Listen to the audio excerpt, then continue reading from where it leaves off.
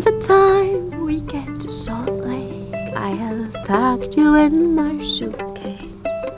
I'm the creases from my own remembering.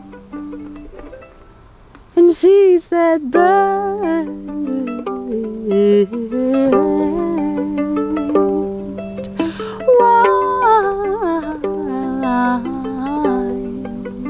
Hallo, ich bin Pernilla. Das ist die kleine Mühe. Das ist unser Schneckenhaus und ich bin Musikerin. Mondflößchen,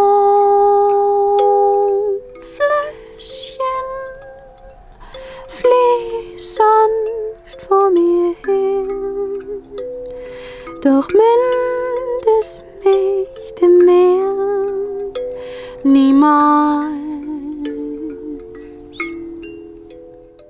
Also ich habe auch eine Küche und zwar ist es hier, die ist ein bisschen versteckt. Und die habe ich noch gar nicht so lange. Die habe ich seit dem, seit dem ähm, Winter. Scheiße, die habe ich heute dahin gehangen. so. Und zwar ist die zum Klappen, damit ich hier rüberklettern kann. Damit, wenn es regnet, dann muss ich, meine, muss ich meine Füße nicht nass machen.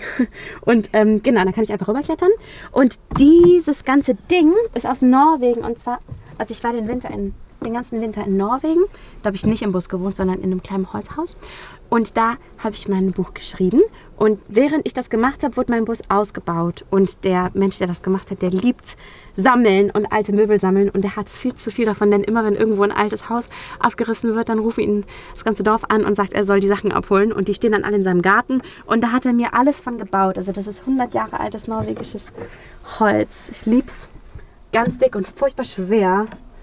Ich dachte, oh Gott, das zieht das Gewicht richtig runter, aber ich wollte es unbedingt haben. Ich habe nur eine Kochplatte. Das reicht mir aber vollkommen, denn ich esse sowieso keine Nudeln oder Reis oder so. Ich esse immer Gemüse. Und ich habe einen Topf und einen Löffel. Und falls mich jemand besuchen kommt, habe ich auch noch Schälchen für andere Leute. Genau, aber am wichtigsten ist eigentlich mein Kessel, der leider nicht singt. Das muss ich noch ich noch dran arbeiten. Ich suche noch so einen Stöpsel, den ich reinmachen kann, damit er, damit er mir was singt. ich wollte es schon immer. Immer, immer, immer. Ich habe mich immer gezeichnet, ganz klein mit einem Auto oder mit einem Bus. Aber tatsächlich, als Musikerin ist es einfach die beste Möglichkeit. Ich kenne so viele Musiker, von denen steht die ganze Zeit die Wohnung leer. Und ich habe keine Lust, irgendwo ähm, mir äh, noch noch mehr Konzerte zu spielen und Geld für weniger schöne Sachen ausgeben zu können, wenn ich eine Bude habe, von der ich immer Stern für mich aus alle Richtungen fahren muss und dann dadurch noch viel mehr Fahrtkosten hätte, sowieso schon und, ähm, und dann nie da bin und darauf habe ich keine Lust. Und es ist auch einfach schön, man ist viel näher an der Natur und das ist, es ist ideal, es ist wunderschön. Es ist meine kleine Kutsche. das ist jetzt ganz neu, das ist jetzt voll der Luxus. Ich habe hier Steckdosen. Das ist wahrscheinlich ganz alltäglich für jeden anderen, aber für mich ist es ganz krass, dass ich mein Telefon aufladen kann, während ich schlafe. hier sind ganze Kabel drin, die ich nicht brauche und die wichtigsten Sachen. Das ist mein Wasser, das sind nur 6 Liter, aber wenn die alle sind, hätte ich sowieso gerne frisches wieder. Ein Becher zum Trinken und das hier ist mein Kühlschrank. Ich brauche nämlich nur eine Sache im Kühlschrank und das ist meine Hafermilch für den Kaffee. Und damit der schön kalt ist, steht die hier im kalten Wasser drin. Und dann hält die sich tatsächlich auch eine Woche. ja, ich war vor allem mit der Milch im Laden und habe ein, ein, Glas gefunden, wo die reinpasst. Ich habe den 1000 Gläser reingestellt. Und das gleiche mache ich auch mit Salat, aber da ist gerade kein Wasser drin, weil da will ich immer Frisches haben. Dann tue ich den Salat, der steht dann hier in einem Wasser drin und dann bleibt er auch ewig lange frisch. Dies aus Jungfrauland, aus Norwegen, da wo ich jetzt war. Da gibt es eine kleine Insel, die heißt Jungfrauland. Und die heißt so, weil die jungfräulich aus dem Wasser emporgestiegen ist durch Erdauflagerung. Und da, die, hat mir der Stefan, der den, den Aufbau gemacht hat, hat mir die ähm, noch mitgegeben. Und das ist mein Solarglas. Und das Warte. Da ist Silber drin, das habe ich in Norwegen gefunden. Das heißt Elfensilber heißt das. Das ist einfach so im, im Wald. Das sieht jetzt total dreckig und ranzig aus, aber das ist ganz tolles Silber ist das. Mega schön. Damit haben die früher im Mittelalter auch Sachen gemacht. Also ich wohne ja immer da, wo mein, wo mein, wo mein Van ist und der ist, wo meine Konzerte sind. Und die sind einfach hauptsächlich in Holland. Deshalb bin ich einfach ganz, ganz viel da. Ich wohne nicht so richtig da, aber was in Holland schwierig ist, ist, dass, dass das Wohnmobilland ist Und ähm, da gibt es einfach unfassbar viele Wohnmobile. Und es kommt ganz oft vor, dass ich zum Beispiel ein Konzert irgendwo in Sandford spiele oder so, was ja eine total schöne Ecke ist, wo jeder hin will mit dem Wohnmobil. Und da kann man sich dann nicht einfach mal irgendwo auf den Parkplatz stellen und hoffen, dass alles gut geht und einen keiner sieht, weil, äh, weil da einfach die Leute, die Polizei ist einfach unfassbar hinterher. Und die kommen dann, machen dann rigorose Kontrollen. Und es kostet auch irgendwie mindestens 130 bis 180 Euro, je nachdem, wo du stehst und wie nett du bist und so. Und ähm, ich habe tatsächlich erst einmal Probleme gehabt, ein einziges Mal. Es liegt aber auch daran, dass ich so geheimat aussehe. Und das war, weil ich auf der falschen Seite vom Zaun parken musste, weil mein Hund nicht aufs Festival durfte. Und ich hatte natürlich ein, ein Künstlerband und war komplett offiziell dort, aber durfte nicht reinfahren. Und dann wurde ich morgens von einem Klopfen wach und habe dann nicht reagiert. Ich habe gedacht, keiner weiß ja, dass ich hier drin bin. Und dann hat, hat alles gewackelt und ich wurde gerade abgeschleppt. Es war ganz grauenvoll. Es war viel zu früh. Und dann bin ich raus und war total aufgelöst und traurig und habe ihm erklärt, dass ich nur da bin, weil ich einen kleinen Hund habe und so. Und es tat ihm dann so leid, da hat er den Strafzettel aufgegessen. Das ist Holland. Hat ihn einfach aufgegessen. Hier sind alle meine Kleider drin, denn ich bin eine Prinzessin und eine Prinzessin braucht Kleider und die sind sehr lang und die wohnen alle hier. Ich weiß gar nicht, ich glaube, ich habe hier, ich muss immer quetschen. Ich glaube, ich habe hier bestimmt 20 Kleider drin. Also ich ziehe weiß immer im Sommer an auf den Auftritten und dann habe ich, dieses Jahr habe ich in allen Farben, das da, in grün und gelb und rot, die sind in der Wäsche. Und diese Sachen ziehe ich an, wenn ich mit meiner Band spiele. Das ist ein, ähm, so ein Hochzeitszelt aus Indien. Und genau, und weiter hinten sind meine ganzen, ich habe richtig tolle Sachen. Der Weihnachtsmann schenkt mir die immer. Mhm. Mit so Bauchtanzgeschichten. Ah, richtig toll. Hier hört man es schon klimpern, aber das macht sehr viel Arbeit, das rauszuholen. die, also die habe ich immer an, wenn ich mit meiner Band spiele. Die heißt Saffron Sun. Und wir machen Musik aus allen Ländern, wo Safran zum Kochen verwendet wird. Weil ich liebe nämlich Kochen und Gewürze ja, es nervt auf jeden Fall richtig, richtig heftig, wenn man keine Handheizung hat. Und ich hatte, ich hatte, wo ich mit dem Vanlife angefangen habe, da war ich ja noch totaler Anfänger. Ich habe ja einen Tag vorher den Führerschein gemacht, bin dann mit diesem riesen Auto durch die Gegend gefahren und ohne Fenster direkt und ohne Rückfahrkamera und habe halt nur in der Hängematte geschlafen und hatte gar keine Ahnung von irgendwas und habe mir richtig schön Konzerte bis Mitte November gelegt, ohne irgendwie drüber nachzudenken, wie man das dann eigentlich macht. Und ich konnte dann halt nicht weg. Alle haben gesagt, ja, dann fahre ich halt, wenn ich keine Heizung habe, fahre ich nach Portugal und so. Ist ja alles schön und gut, aber ich muss ja meine Konzerte spielen. Und ich hatte dann, mein letztes Konzert war am 15. November im, im Sufi-Tempel in Katwijk und es war einfach arschkalt. Und ich, dann war ich beim Baumarkt und wollte mir irgendeine Gasheizung kaufen. Und die haben gefragt, für was? Ich habe gesagt, ja, für in mein Auto. Und dann habe ich gesagt, nee, verkaufe ich ihn nicht. Sorry, aber kann ich ihn auch in Sarg verkaufen.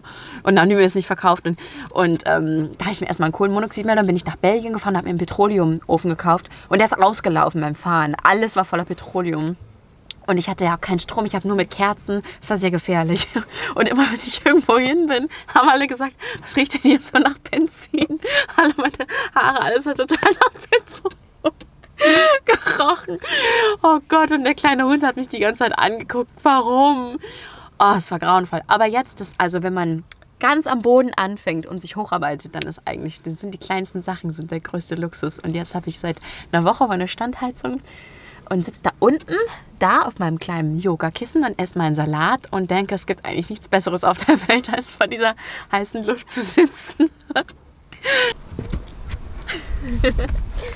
das Mann ist von außen sehr hässlich.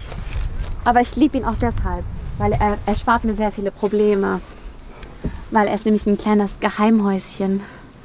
Und also von außen sieht er halt extra aus wie ein Transporter. Außer mein Nummernschild sagt Glad.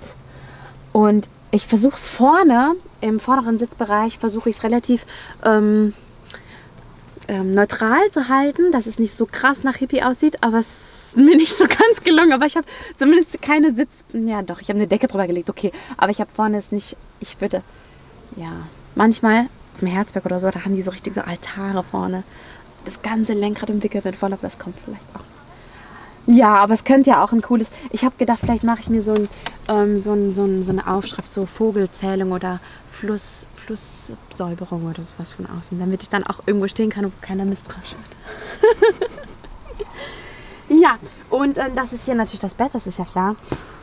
Und darunter ist alles, was eine Frau so braucht, wenn sie Musikerin ist. Also hier sind Postkarten drin von, mein, von meinem Buch, meine ganzen Kabel, meine CDs, mein Verstärker Mikrofonständer, der hat extra Fach. Und ganz hinten, diese riesen Boxen sind meine ganzen Bücher. Da habe ich nämlich ganz schön viele dabei, weil ich habe sie in drei Sprachen. Das ist die Prinzessin von Inski-Pinsky. Die Prinzessin von Inski-Pinsky, die sieht nämlich so aus und die, die wohnt auf einer ganz kleinen Insel. Das ist Inski-Pinsky. Und Inski-Pinsky ist so weit im Norden, dass es von dort nur nach Süden geht. Und die Insel hat nur dreieinhalb Bewohner, nämlich ihren Vater, der König von Inski-Pinsky, und ihre Mutter, die ist eine Löwin, deshalb ist ihr Haar auch so wild und unzähmbar. Und das kleinste goldene Wölflein. Das ist nämlich die kleine Mühe. Das ist nämlich kein Hund, sondern ein kleines goldenes Wölflein. Und die Insel ist so weit im Norden, dass von dort nur nach Süden geht. Und das ist auch ihr Schneckenhausschloss, was jetzt Räder bekommen hat. Und sie leidet an einer ganz schlimmen Krankheit, nämlich dem Fernweh. Und das Fernweh wird immer schlimmer und ihre Eltern sind so besorgt, weil sie wissen, dass die Welt außerhalb von Inski-Pinsky groß und schlecht ist. Sie probieren eine Medizin zu finden, weil sie haben Angst, dass ihre Tochter irgendwann wegen dem schlimmen Fernweh raus in die Welt muss. Und so geschieht es, denn sie finden keine Medizin und da fährt sie los. Und das ist auch mein Albumcover. Dieses, das sind ihre Eltern, die sagen Tschüss. Das ist die kleine Mühe. Ich habe an der Grundschule gearbeitet und die Kinder, die haben mich gefragt, warum ich so komisch aussehe. Weil das war in einer relativ poschen Gegend und die kennen da halt keine Elfen. Und dann habe ich gedacht, ich komme leicht aus der Affäre, wenn ich ihnen sage, dass es ist, weil ich eine Prinzessin bin. Und weil wir aber halt keinen König und Königin mehr in Deutschland haben, haben die relativ schnell erkannt, dass ich nicht die Prinzessin von Deutschland sein kann. Und dann habe ich im Blitz, blitzschnell äh, Inski-Pinsky erfunden. Und dann haben sie mich gefragt, warum meine Haare so komisch sind. Und ich habe halt gesagt, das ist, weil meine Mutter eine Löwin ist und so. Und dann haben sie gefragt, wie denn mein Schloss aussieht. Und ich habe das Schneckenhaus an die Tafel gemalt und so. Und ähm, genau, und jetzt habe ich Geschichte mal aufgeschrieben. Ich denke, es ist ziemlich schwierig, wenn man sagt, oh, ich möchte so einen Van und dann denkt man, man braucht einen, der das kann und dann hat man nicht den Freund, der einem das alles isoliert und man sieht immer auf Instagram diese ganz tollen Ausbausachen, wo irgendwelche super handwerklich begabten Boyfriends da irgendwie die ganze Zeit mit einem Zollstock in der Hosentasche äh, oder irgendwelche super smarten Girls, die da irgendwie unterm Bus liegen und so. Das muss alles gar nicht sein. Also man kann auch ganz, ganz klein anfangen und es kommt dann alles. Es ist noch lange hier nicht fertig, aber also ich habe das, hab das allen gesagt, dass ich das mache. Das ist auch immer gut. Sozialkontrolle ist immer gut. Einfach allen sagen, dass man es macht. Und dann fragen alle, und läuft's? Kaufst du bald den Van? Und dann war ich im, beim Autoladen und ich hatte schon den Job gekündigt, die Wohnung gekündigt und dann am letzten Tag den Führerschein und dann habe ich mir den Bus angeguckt. Ich hatte den eigentlich schon im Internet ausgesucht. Und dann saß ich dann hier das erste Mal drin, Tür zu und ich dachte, oh mein Gott, das ist sehr furchtbar. Es hat draußen geregnet, es war irgendwo in Gelsenkirchen, es sah alles richtig scheiße aus auf irgendeinem Parkplatz. Und ich dachte, ist das jetzt mein Leben? Die Tür war zu, alles war dunkel, kein Fenster, kein gar nichts. Also alles Blechwände und grauenvoll. Und man hat die Autos vorbeirauschen gehört und ähm, und ich dachte, ja gut, also jetzt habe ich es entschieden, jetzt mache ich das. Und dann habe ich den gekauft und dann, und dann, also die ganzen Töpfe sind durch die Gegend geflogen und das war so. Ich hatte, also ich hatte jede einzelne Gabel hing an der Wand. Und was auch sehr geil ist in Holland, sind die sind die wunderbaren Drempel. Das sind diese Huckel, über die man alle 10 Meter einmal fahren muss. Und alles ist die ganze Zeit. Ich habe immer irgendwas fallen gehört. Und ich habe immer ganz vorsichtig die Tür aufgemacht und geguckt, oh, da, meine ganzen Tomaten liegen unten. Und das alles war durcheinander und so. Und äh, man muss einfach, es wird alles immer besser. Es wird immer besser, man muss einfach machen. Das ist mein Bett. ich ähm, ich passe tatsächlich, also nicht so ganz so dahin, aber das macht nichts. Ich schlafe immer diagonal. Dann habe ich wie mein kleines Köpfchen dann ein Füßchen. Außer manchmal mache ich es anders, dann kann ich die Sterne sehen. Und dann die kleine Mühe, die hat dann auch einen Platz, dadurch, dass es diagonal ist. Die schlägt man immer hier. Und wer einer geht dahin, der wird angeknurrt. Das ist ihre Ecke. Das ist deine Ecke. Wer einen Hund hat, der muss es unbedingt haben. Das heißt Road Refresher heißt das, glaube ich. Und das ist halt hier so ein, also da macht man das ganz normales Wasser rein und dann kommt das da drauf und dann kommt eigentlich noch das, aber das ist alles ein bisschen viel. Und wenn du dann fährst, dann kann ja nichts passieren. Passt auch mega viel Wasser rein. Und davor, das war ein einziger Krampf. Da habe ich nämlich immer versucht, vom, vom Losfahren das noch auszuleeren. Ich habe es immer vergessen und dann war das in meinem Mikrofonständer drin, das Wasser und.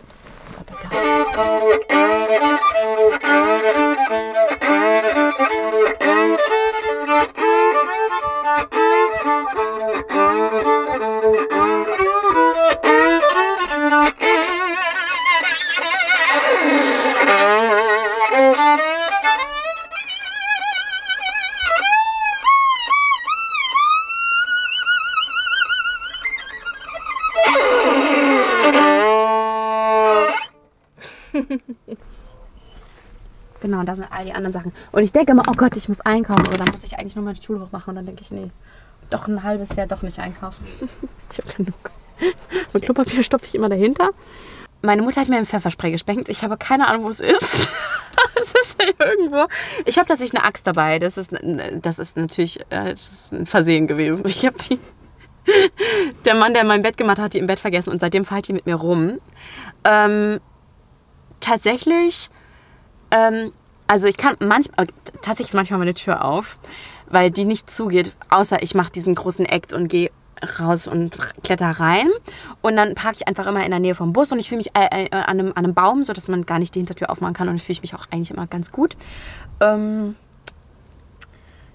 nee, ich habe eigentlich keine Angst. Also ich habe jetzt die letzte Nacht mitten, äh, mitten auf irgendeiner Straße in Kreuzberg geschlafen, habe mich sehr wohl gefühlt. Was, ich, äh, was mir wichtig ist, ist, dass ich hier drüber klettern kann. Ich gucke also also wenn ich das Gefühl habe, hm, hier bin ich nicht ganz sicher mit der Situation, dann gucke ich, dass die Fläche frei ist, damit ich rüber jumpen kann. Und ich habe, den habe ich gerade versteckt, ich habe einen riesengroßen Maulkorb. Der hängt in meinem Fenster. Und falls einer um den Bus schleicht und die Mühe macht ein kleines, süßes dann denkt er vielleicht, dass ich einen riesengroßen Hund habe. Ich habe, der sieht eigentlich aus wie ein, wie ein Erntedankkorb. Das ist so ein Riesending. Und der hängt immer vorne im Fenster. Wenn ich, wenn ich das Gefühl habe, bin ich ganz sicher hier mit diesem Space, dann hole ich den raus. Und dann denken die Leute bestimmt, ich habe einen riesen Pitbull. Und dann, ähm, ja, dann äh, fühle ich mich sehr gut.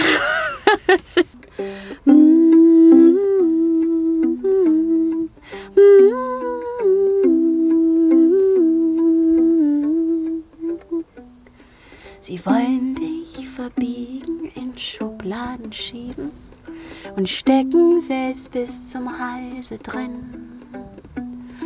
Doch du passt nicht rein, also musst du verkehrt sein, bist Traumtänzer kindisch naiv. Was ist das für eine Welt, in der wir leben, wo kindisch ein Schimpfwort wenn erwachsen bedeutet zu sein, so wie ihr, dann bleibe ich gerne Kind. Sei Lächelanstecker, Tränen, Trockner, Samenseher, Horizontstreber wie ich. Sei Sonnensucher, Schattenfänger, Baumhausbauer, Schutzengel, sei was du willst, sei was du willst. eyes. Mm -hmm. Mm -hmm. To fist. Mm -hmm.